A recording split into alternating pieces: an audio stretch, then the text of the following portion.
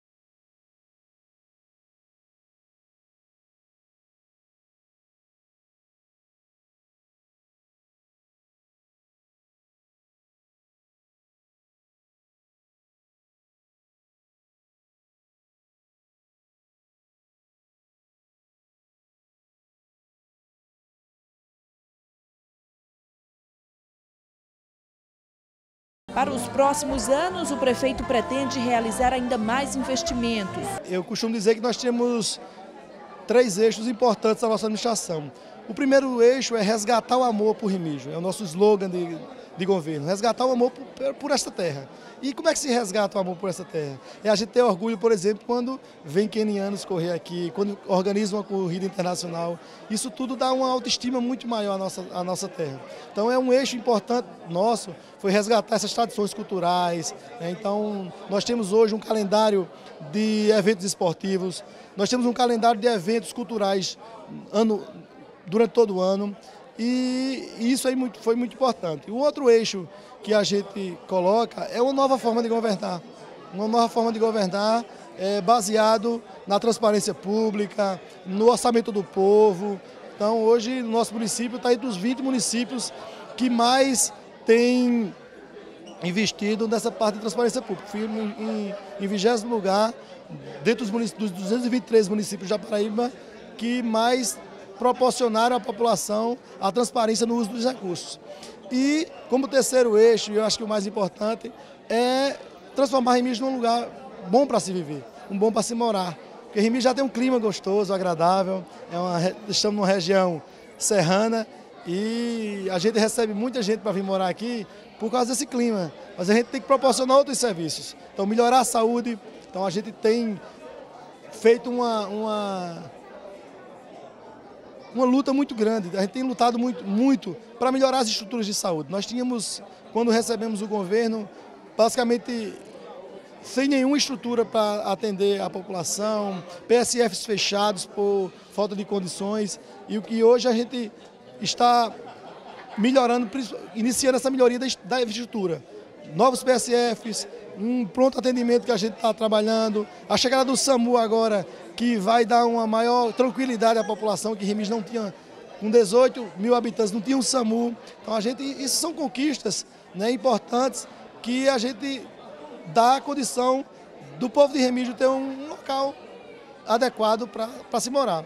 E a, e a, educação, né, que eu acho que é outra base que é importantíssima. Né? A gente tem investido muito na educação. Hoje a gente vai ter a entrega lá na nossa, no, no palco dos, da premiação dos, de alunos da nossa escola fundamental, do ensino fundamental, que foram vencedores do concurso de redação. Né? Então, são alunos da zona rural. É, nós resgatamos com muita qualidade o nosso desfile CIF do 7 de setembro, com a participação de todos os alunos. Fardamento tem sido uma coisa que a gente tem trabalhado também para que proporcionar aos alunos ter uma melhor condição de vir para a sala de aula, já que muitos deles têm carência e, e não podiam comprar, e hoje a gente dá gratuitamente isso.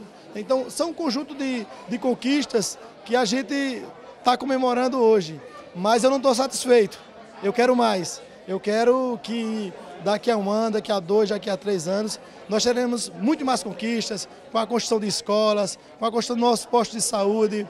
Né? Então é, é, esse o nosso desejo, né? não estar tá satisfeito nunca para sempre melhorar a condição de vida do nosso povo.